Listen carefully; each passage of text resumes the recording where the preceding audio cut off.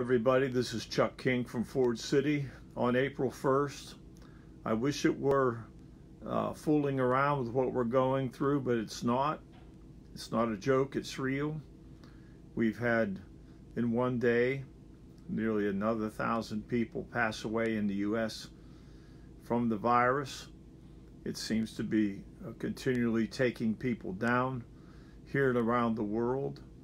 We should not be filled with fear, but we should be praying. I was thinking today that there are many, many people still working. They're out there on the front lines, even if they're working at their normal job at, at Walmart or a grocery store, they're exposing themselves to the people who have to come in and buy groceries. And it's a difficult time for them as well as for the frontline people in the, the medical field and, and our police and our met, our army and uh, military people that are helping out and, and all the uh, pressure that's on every government official, whether it's federal, state, or, or local.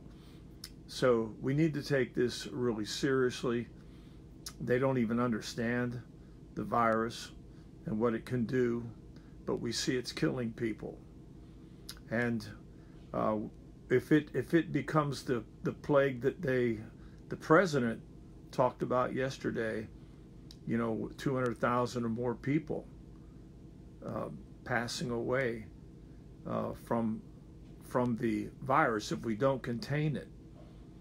And so you think about that. There's been about 4,000 die. So to get up to 200,000 would be a huge problem for our nation.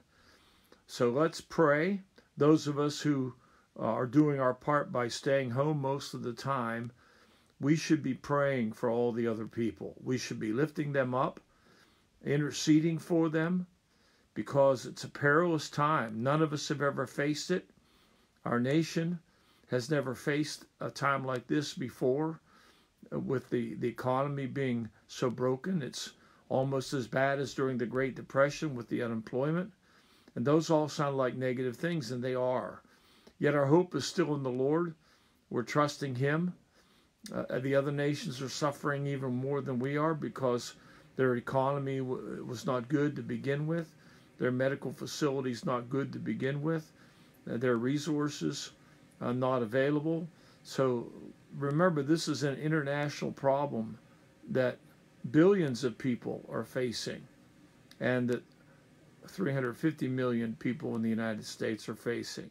So as we go to prayer, let's remember all these things and trust the Lord because this, this is too great for any one of us. We have to trust in Him. Let's pray. Father, today, another day of anxiety is upon us because of this virus that's going, uh, doing its damage among so many people. And we pray now in Jesus' name for the sick, for, for the families of those who have passed on, and for all those who are serving them, trying to keep them alive, risking their own lives to help other people. Father, put your protection around them, your hedge of glory, and save these people. We don't know how to pray except to cry out for mercy. This nation deserves judgment because of its sins, the nations of the world deserve your judgment, and we know that your judgment will come to pass. It seems like we're we've entered the last days, and we see these kinds of things coming like birth pains upon the earth and upon the nations, one after the other. But we're asking, Lord, for your wisdom and direction as we as we uh, go through these uncharted waters. And as believers, we keep our faith in you that your word will come to pass, your prophecies will be fulfilled, that every plan that you have uh, will will uh, come to pass. Your word will never fail, and that we have to trust you, Lord, because you are in control, and you allow these things to happen for your purpose, even where we don't understand. We pray for more grace, though, more strength in the midst of the storm, that you would keep us, keep us focused on Jesus the author and perfecter of our faith. Help us to understand your word so that your word would wash us and encourage us and correct us. So, Lord, we, we just lift up uh, the great needs of the people to you and trust you, Lord, to do a mighty work, miraculous work by your Spirit to draw hearts of men, women, and children to believe the gospel of Jesus Christ, our only hope of eternal life. We ask it, Lord, in Jesus' name. Amen. All right, we're turning to Ephesians chapter 2 today, beginning in verse 1. We're going to study the first 10 verses. And uh, if you would please hit the share button when you see the video uh, pop up with the share button after we're finished because we're trying to reach as many people as we can with the, the hope and the revelation that comes from the Word of God. These are times when people need they need the foundation built in their lives. So many have neglected the Word of God. They've neglected seeking after the Lord. And now their eyes are being opened due to this crisis, and they're beginning to examine themselves, and they should, because uh, you know, death is the final enemy according to scripture. After after death there's no there's no more enemies left. Because uh, Jesus said, "Don't fear him who can kill your body, but fear him who can put your soul in eternal hell." And this is what the reality of every human being facing uh, the ultimate judgment before our Creator. We don't we won't be judged based on our own opinions or the opinions of others, but rather, what does God think about my life? How did my life shape up in His eyes? Was I a person of faith who believed His word when I heard the gospel of Jesus Christ, when I heard about the great love of our Father God, the creator of heaven and earth, for the whole world, that in its fallen state He sent His only Son to become the sacrifice for the sins of the whole world. But we know that's not automatic because people have to they have to volunteer to humble themselves, repent and believe the gospel. That's what we're going to talk about here today from Ephesians 2 verse 1. And you were dead in your trespasses and sins that's what uh, Paul begins with. He talks to the church. These are again they're Pentecostal believers now in the city and the environs of uh, Ephesus, and he's telling them as Christians, as disciples, that in the past you were dead in your trespasses and in your sins. My friends, this is the reality of every human being. Since the Garden of Eden, when the first two human beings yielded to deception of the fallen angel Lucifer, now we call him Satan, fell to his deception to to rebel against God and his only commandment, not don't eat from that tree, and yet they yielded to satanic deception and ate anyway. And and once they ate, there was spiritual death and eventually physical death come upon them. We were dead, all of us in our sins and trespasses. Verse 2 In which we in which you formerly walked according to the course of this world, according to the prince of the power of the air, of the spirit that is now working in the sons of disobedience. This lays the responsibility for the, the, the failure of the human race squarely upon satanic power we were deceived as a race, as a human race, by the, the devil, the prince of the air, the spirit working among the unbelievers all over the world throughout history. We all formerly now, I want to say we were dead and we formerly walked like the world. We walked according to the course or the wisdom or the pattern of the world. And who was motivating that? Who is motivating that? But the devil himself and his legions of fallen angels. They are working even today uh, uh, all over the earth. And I, I see this virus as an example of that. God has allowed this evil to come upon the world for judgment and to wake up the nations. Verse 3 Among them, too, all formerly lived, we all too for, formerly lived in the lusts of our flesh, indulging the desires of the flesh and of the mind, and were na- by nature children of wrath, even as the rest. So, all of us who are believers today, we have to humbly admit that we were all living like that.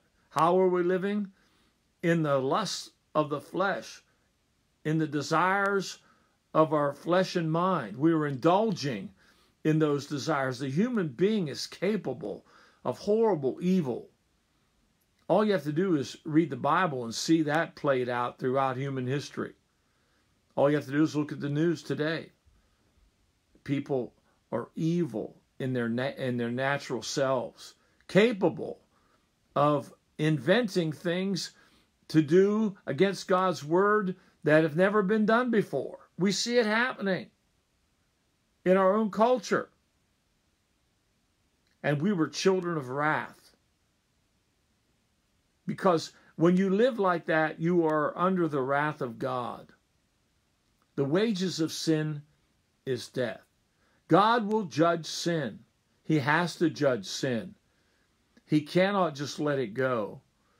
The judgment came immediately the, the, the judgment was spoken over Adam and Eve and, and, uh, and over Eve, the devil uh, of what would come, this, uh, the, this great death upon the human race, the judgment eventually upon uh, Satan, where Jesus would crush his head. From Genesis chapter 3, 3, we have that first prophetic word about the seed of the man or the seed of the woman would crush the head of Satan. And we've seen that played out throughout history, where Jesus has come at just the right time, at the Father's bidding, to come and live and die and rise from the dead and ascend to the Father for the glory of God to fulfill the prophetic word and the plan and the will of God that was decided in all eternity past before the earth was ever made by him. So Paul's he's talking to the Christians reminding them they've come out of the same darkness as everyone else that's still living in darkness. Verse number 4. But God being rich in mercy because of his great love with which he loved us. Never forget that mercy triumphs over judgment. God is just, but He's also merciful. He is a jealous God, but He is the loving God. We can't comprehend all of that with our minds because of our uh, our finite ability, but His infinite power and glory make Him that holy, righteous God and that loving and merciful God all at the same time. The mercy of God triumphed over His right to judge us, to destroy us. His great love, His great love has made the difference. Verse 5 Even when we were dead in our transgressions, made us alive together with Christ. By grace you have been saved. So even though He he should have destroyed us all because of our sin as a human race and as individuals. He does bring judgment and he will bring judgment, but he hasn't destroyed us. He's given us a, a, a way out through Jesus Christ, a salvation through the Lord Jesus. This great love and mercy has been demonstrated. In John 3:16, for God so loved the world that he gave his only son that whoever believes in him shall not perish, will not perish, but will have eternal life. God did not send his Son into the world to condemn the world, but through him the world might be saved. This is the purpose of the gospel of Jesus Christ. Even though we all lived those, those judge, judgeable lifestyles, we deserve judgment because of our sin. No one is clean. If you try to say you have no sin, you're a liar. And you also call God a liar by saying that you don't have sin. When we humble ourselves and admit who we are, we realize all of us have come from the same fallen race of human beings. But because of the mercy and the love of God, He has extended salvation to us through Jesus Christ our Lord. Even, verse 5, even when we were lost, when we were dead in our sins, that's when He saved us. He didn't save us when we were all living a righteous life, doing our best, pleasing Him. He saved us at our lowest point of disobedience and rebellion. That's when Jesus died. That's when He reached out to each one of us. In fact, it was at the point of your life, if you're a Christian today, truly born again, spirit filled, it was at a point of your life when you were low down. You were you were really in bad shape spiritually. And he extended his mercy to you through the revelation of his loving conviction and the revelation of the truth of the gospel, so that he opened your spiritual eyes and ears to, for the first time, understand who Jesus is, what he did for you, and what he will do for you if you would believe. And that's how we got saved. At the lowest point of our failures, he reached out his hand of mercy to us. May his name be glorified. Verse number six. And he raised us up with him, with Jesus, in heavenly places in Christ Jesus. He raised us up. We were dead in our sin, and his great love and mercy extended to each one who believes transforms our lives from being dead in sin and on our way to hell. He raised us up by his wonderful mercy and grace to become the children of God. That's what the gospel tells us. Verse 7 So that in the ages to come he might show the surpassing riches of his grace in kindness toward us in Christ Jesus. I, I want you to remember that always the goal of our faith and our life serving the Lord, always looking forward to eternity. Eternity is the real life. 2 Corinthians 5 says that uh, God has made us for eternity. Yes, well, there'll be death here, the final enemy, physical death. But eternal life in Christ lasts forever and ever. And this scripture reminds us again that it's the coming ages, the, the eternal ages ahead where he will show to us the riches of his grace and his kindness in Jesus Christ. It's not just this life. This life, as we studied before, is just a down payment. The grace of God that we walk in in our life on earth is just a down payment of what's to come. Eye has not seen nor ear heard what God has in store for those who love him, the scripture says. It's beyond our comprehension and our knowledge to know what's coming in the eternal ages before us. That'll excite you and motivate you to keep your eyes on Jesus because he's talking about the surpassing riches of his grace and kindness that will be demonstrated to us for all eternity. Praise the Lord. Verse 8 For by grace you have been saved through faith and that not of yourselves. It is the gift of God. You see, it's grace. Again, God's provision of power, His provision of strength, supernatural that we don't have naturally. We don't have the human uh, uh, ability to do the things that need to be done to please Him. So He imparts to us the Holy Spirit, the grace of God, the power from on high, the undeserved ability that comes through what? Through faith. You see, faith that he, he actually gives us that as part of the gift. Faith and grace are the gift of God. He has to give you the faith. He has given us faith. Those of us believe. He has given us a measure of faith. It comes from Him. Because naturally we're doubters and unbelievers and rebels. But God gives us the ability to believe Him. We're dependent on Him for that.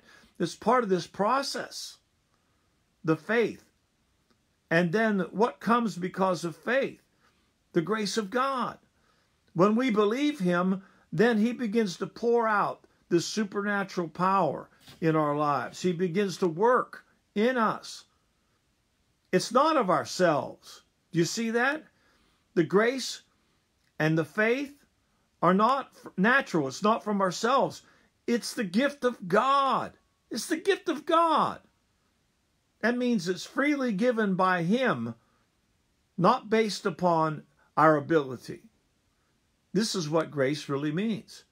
It doesn't mean that no matter what I do, no matter what sin I commit, it's okay because the grace of God has taken care of that.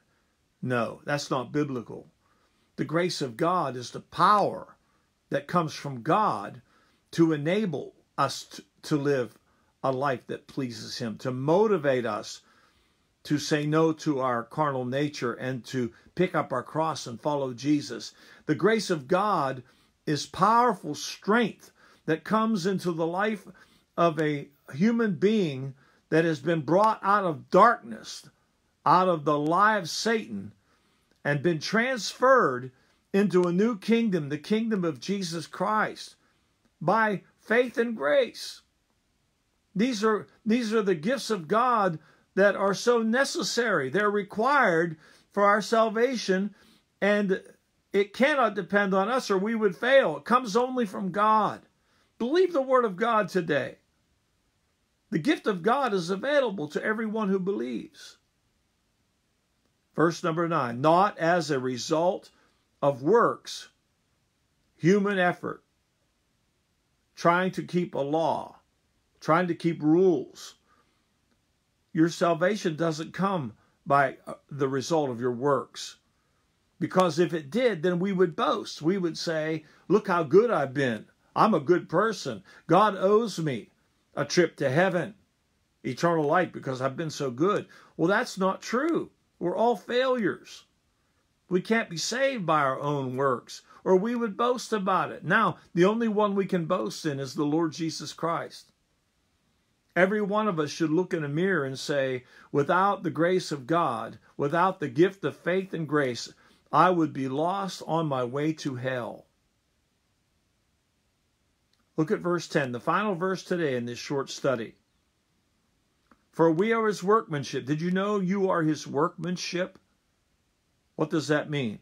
For you, we are his workmanship, created in Christ Jesus for good works which God prepared beforehand so that we would walk in them. Now, remember, we studied that before the earth was ever formed, the foundations were ever laid, the will of God was that He would send Jesus to redeem us and to transform us. Never forget what the scripture says, 2 Corinthians 5. If any man be in Christ, he is a new creation. Old things have passed away. All things have become new. And Paul says that we are ambassadors for Christ. We are representing Him alone. We're not representing ourselves. We're not representing our culture. We're not representing our nation or the laws of our country. We are representing Him as ambassadors. And ambassadors only do what the King sends them to do, our Lord Jesus, King of Kings and Lord of Lords. And our ministry and our message must be the message and the ministry of reconciliation. It means it means that we must go to a, a fallen world lost, caught in the chains of satanic bondage, and preach a simple gospel that we have described here. The love of God, the mercy of God, that in the midst of our failures has extended his love in such a way that his, his son, Jesus Christ our Lord, was sacrificed for the sins of the world and his blood shed to purchase our salvation. And he rose again from the dead, defying death. And he sits now, after ascending to the Father's right hand, he sits at the Father's right hand of power, awaiting his second coming to redeem his church from the grave, to transform any living believers into their resurrected bodies, and to defeat the satanic armies once and for all and bring judgment, final judgment to the world. This is the God we serve. Our Lord Jesus Christ is coming soon. He promised these kinds of events leading up to his return. And we know that while we're here, we must continue preaching and living the gospel when you read the Olivet discourses, uh, whether it's Matthew 24, Mark 13, or Luke 21, you read about what's coming during the tribulation days and the coming of Jesus. And you will see that in the midst of that difficult time, the scripture says, This gospel shall be preached in all the world to all the nations, and then the end will come. We need to be about the Father's business. We are His workmanship. That means He's working in us. How? By mercy and grace. He's given us faith, He's given us grace, and He expects us to embrace that cross daily and follow Him. We are created in Christ Jesus for good works, not to be constant failures that use an excuse that grace is going to cover my sins. No, we are people empowered by the, the King of glory, by the power of the Holy Spirit, able by his strength to do the things that are pleasing to him. And he, he had that planned before the foundations of the world were ever laid. That's what we're talking about in these first 10 verses. Never forget where we came from.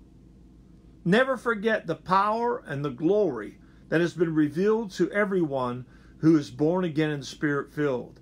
At the same time, we must remember how lost the world is. The majority of the human race does not know Jesus Christ. And we need to be his workmanship, empowered by faith and grace to go forth to the nations to preach this glorious gospel, and then the end will come.